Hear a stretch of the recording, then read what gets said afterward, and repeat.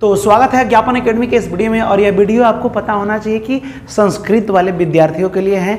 ये आपका जो है इलेवन लेसन है, लौट कर फिर आऊँगा। बहुत ही शानदार है यार, ये दुनिया बड़ा मनभावन है, बहुत अच्छा लगता है। आप देखिए, इस लाइफ में क्या होता है, दुख सुख हमेशा साथ में आते रहते हैं। अरे बिना दुख का, माने आप देखिएगा, बिना दुख का सुख का आनंद नहीं उठा सकते हैं। यानी दुख और सुख लाइफ में रहेगा तो बहुत कुछ होगा, ठीक है? और बहुत मज़ा आएगा लाइफ को जीने में, मस्ती करने में। तो यहाँ भी वही वही है, एक जीवतानंद सॉरी जीवनानंद है। जीवनानंद जी लेखक हैं, और ये लेखक हैं जिन्होंने लिखा है, लौट कर आऊँगा फिर। ठीक है? ये आखिर किस बात को लेकर इस दुनिया में इनको दोबारा लौट के आने की इच्छा है। ठीक है कि अगर हम किसी कारण बस अगर इस दुनिया में नहीं रहते हैं तो हमको फिर से एक बार मन करे कि हम इसी धरती पर जन्म ले। और इस धरती पे कहाँ पे? बंगाल में। क्योंकि बंगाल निवासी और बंगाल बहुत अच्छा सुहावना दृश्य वहाँ इनको लगता है। ठीक है? तो जीवतानंद, जीने में इनको बहुत आनंद आता था। इसीलिए ये बोल रहे हैं कि लौट कर फिर आऊँगा। याद रखिएगा, जीवतानंद क्या लिखे हैं? लौट कर फिर आऊँगा। क्योंकि जीने में इनको बहुत आनंद आता है। इसीलिए याद रखिए जीवित जीवनानंद दास। अब इनका जन्म निन्यानवे में बंगाल में हुआ, लेकिन जब ये 55 साल के हुए, ठीक है, काफ़ी एजेड भी हो गए, मान लीजिए तो जो 55 साल के हुए तो एक दुर्घटना में इनकी मृत्यु हो गई। अब 55 साल के बाद अगर इसमें जोड़िएगा तो क्या हो जाएगा? अट्ठा उन्नीस हो जाएगा। उन्नीस सौ चौवन में इनकी मृत्यु हो जाएगी। ये पता है, ये रविन्द्रनाथ टैगोर के बहुत बड़े फ़ैन थे, ठीक है? अब ये कहा जाता है रविन्द्रनाथ टैगोर जब वहाँ साहित्य वगैरह बंगाल में लिखते थे तो उनके नहीं रहने के बाद से इस साहित्य को किसने संभाला है? तो ये जीवनानंद ने संभाला है। याद रखिए जीवनानंद ने संभाला है। अब देखिए, अपने ज़िंदगी में मात्र ये छः ही काव्य लिख पाए। ज़िंदगी में लिखे तो बहुत सारा, लेकिन छः ही काव्य पूरा पूर्ण रूप से प्रकाशित हुआ और मरने के बाद जो था और सब प्रकाशित हुआ।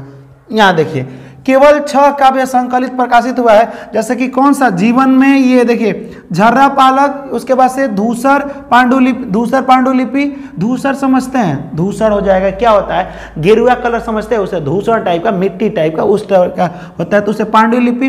वनलता सेन, महापृथ्वी। ठीक है, ये क्वेश्चन आपसे पूछेगा, महापृथ्वी किसकी रचना है? तो क्या रहेगा जीवनानंद की रचना है। ठीक है, उसके बाद से सातटी तरार तिमिर। और जीवतानंद, ये तो यादें हो जाएगा, ठीक है? जीवनानंद दासेर श्रेष्ठ की कविता, ये तो हो जाएगा जीवनानंद ने जीवनानंद लिखा है। अब देखिए, मरने के बाद कुछ लिखे थे तो उसके बाद प्रकाशित हुआ। तो वह मरने के बाद जब सब कुछ खत्म हो गया, उसके बाद से लोगों ने क्या किया? इसे प्रकाशित किया, रूपसी बंगला। बेला, अबेला, कालबेला, ये एक में है तीनों। ये किसकी रचना है? काव्य किसकी रचना है? बोलेगा, बेला, अलबेला, काबेला, किसकी रचना है? तो यह है जीवनानंद की। अशोक पृथ्वी है पूछा है। अशोक पृथ्वी किसके द्वारा रचित काव्य है? तो जीवनानंद द्वारा है। ठीक है? ज़िंदगी में तो इन्होंने मात्र छह ही लिखा, जब तक जीवित थे, छह ही ठो प्रकाशित हुआ है। लेकिन मरने के बाद से सौ गो कहानी या तेरह उपन्यास इनका प्रकाशित हुआ है। मरने के बाद ये सब छपा है। ठीक है? ये आप याद रखिएगा।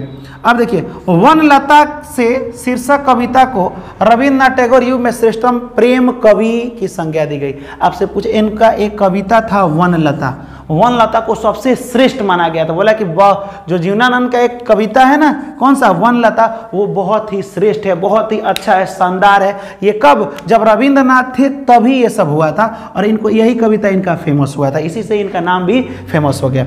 अब देखिए, कविता का परिचय। पता है, इस पूरे लौट कर फिर आऊँगा में, क्या बताया गया है? यहाँ समझिएगा। कविता प्रयाग शुल्क द्वारा भाषांतरित जीवन दास की कविता है। ये आपसे पूछा जाएगा कि किस कवि के द्वारा भाषांतरित है तो यहाँ पे याद देखिए पयाग शुक्ल के द्वारा भाषांतरित है, जो कि क्या है जीवन दास की ये कविता है, ठीक है? और इसमें बताया गया, मातृभूमि और परिवेश के प्रति उभरते प्रेम।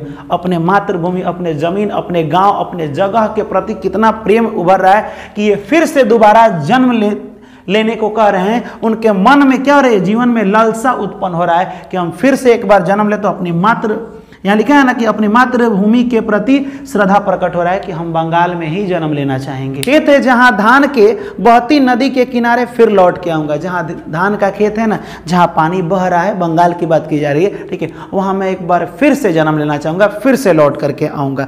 एक दिन बंगाल में नहीं शायद, होऊँगा मनुष्य तब होऊँगा अबाबिल अगर मनुष्य में जन्म नहीं ले रहा हूँ, ठीक है तो हम यहाँ पे लिखा है अबाबिल अबाबिल एक बंगाल की चिड़िया का नाम है। हम उस चिड़िया के रूप में जन्म लेना चाहेंगे। फिर कौवा उस भोर का फूटेगा नई धान की फ़सल पर जो कोहरे के पालने से कटहल की छाया तक भरता पेंग, आऊँगा फिर एक दिन। यहाँ बोल रहा है कि जिस तरह से चिड़िया जन्म ले, जिस तरह से कौवा सुबह में जब किरण निकलता है तो उस समय कौवा इधर उधर जाता है। हम उस रूप में आना चाहते हैं, उस दृश्य को फिर से देखना चाहते हैं, ठीक है? यानी कटहल का जो पेड़ होता है, उस पर जो चिड़िया वगैरह बैठी होती है, वहाँ पर जो किरण, देखिए, पेड़ के पास से जो बीचों बीच से किरण निकलता है ना, बड़ा खूबसूरत दिखता है। उस दृश्य में वहाँ पे हम जन्म लेना चाहेंगे, ठीक है? बनकर शायद हंस में किसी किशोरी का घुंघरू लाल पैरों में, यानी वो है किसी किशोरी का हंस बन करके आऊँगा जैसे कि हंस के पैर देखना लाल होता है तो लाल जैसे कि घुंघरू होता है ना, उसी प्रकार से मैं हंस के रूप में आना चाहूँगा, लेकिन हम फिर से लौट कर आना चाहूँगा तो मैं फिर से लौट के आना चाहूँगा, ठीक है? तैरता रहूँगा बस दिन दिन भर पानी में, गंदा जहाँ होगी ही भरी घास की। अब देखिए, यहाँ बोला है कि भले ही हम हंस बनेंगे तो पानी में, गंदा पानी में तैरते रहेंगे, पानी वाला घास में तैरते रहेंगे, यानी जो भी होगा, लेकिन हम फिर से जन्म लेना चाहेंगे। आऊँगा मैं, ठीक है? नदिया मैदान बंगाल के, नदिया मैदान बंगाल के बुलाएँगे, मैं आऊँगा, जिसे नदी धोती ही रहती है पानी से। इसी हरे सजन किनारे पर और मैं फिर उस किनारे पर आऊँगा, जहाँ पे नदियाँ बार बार पानी आते रहती है, धोते रहती है। किनारे को तो धोते रहते हैं ना। आप देखेंगे कि समुद्र के, देखिए, बंगाल की तरफ़ क्या है? बंगाल की खाड़ी है बार बार पानी इधर आता है। तो क्या किनारे को धोते रहता है, जब झटका मारते रहता है तो। शायद तुम देखोगे शाम की हवाओं के साथ उड़ते एक उल्लू को, शायद तुम सुनोगे कपास के पेड़ पर उनकी बोली, ठीक है? यहाँ बोला है कि तुम देखना, मैं आऊँगा। जब तुम रात को उल्लू को देखोगे ना तो समझ जाना कि वो मैं ही हूँ। ठीक है? ये कवि कह रहे हैं। ठीक है? यहाँ देखिए, शायद तुम कपास पर किसी पेड़, कपास के पेड़ पर तुम बोली सुनोगे ना, अगर चिड़िया का तो समझ जाना कि मैं आ चुका हूँ। यहाँ का आनंद उठाने। घासली ज़मीन पर फेंकेगा मुट्ठी भर भर चावल। जब तुम घास पर मुट्ठी भर के चावल फेंकोगे ना, उस समय जो चिड़िया उस दाने को चुंग रही होती है, उस समय समझना कि वही मेरा रूप है, लेकिन मैं फिर से एक बार बंगाल में जन्म लूँगा। ठीक है? शायद कोई बच्चा उछलते हुए देखोगे। आप अपने एरिया में कोई बच्चा उछलते हुए देखोगे, हो सकता है मैं उस रूप में भी हूँ। ठीक है? यहाँ देखिए, रूपसा के गंदले से पानी में नाव लिए जाते एक लड़के को उड़ते, देखो, उड़ते फटे पाँव की नाव। अब देखो, तुम किसी, तुम देखोगे कभी कभी कि एक पानी में नाव लिए लड़का जा रहा है। कहाँ से देखने को बोल रहा है? तो रूपसा रूपसा एक नदी है, समझिएगा। रूपसा एक नदी है और वहाँ से तुम देखोगे कि एक लड़का नाव लेके जा रहा है उसी नदी में। हो सकता है उस लड़के के रूप में मैं जन्म लूँ। लौटते होंगे रंगीन बादलों के बीच। जब बादल रंगीन टाइप का हो जाता है ना, उस समय देखना बगुला वगैरह उड़ते रहता है। हो सकता है उस सारस में मैं हूँ, ठीक है? सारस अंधेरों में होऊँगा, मैं उन्हीं के बीच देख उन्हीं के बीच में देखना, उन्हीं के बीचों में देखना, कहीं ना कहीं हम तुम्हें ज़रूर दिखाई देंगे। यानी कि हम किसी न किसी रूप में एक बार इस भूमि पर फिर से जन्म लेने, लेना चाहेंगे। यही यहाँ पे कवि बताएँ तो इससे आपको ऑब्जेक्टिव पूछा जाएगा, ठीक है? कि यहाँ पे बादलों में किसे उड़ने की बात की जा रही है? कौन से पक्षी का? तो सारस का, ये आप याद रखिएगा। तो लगा हो शानदार तो इसे लाइक कीजिए और लाल वाला बटन दिख रहा होगा ना, उसको दबा दीजिए। सब्सक्राइब हो जाएगा, ठीक है? तो फिर मिलेंगे हम लोग अगले लेसन में, तब तक के लिए जय हिंद।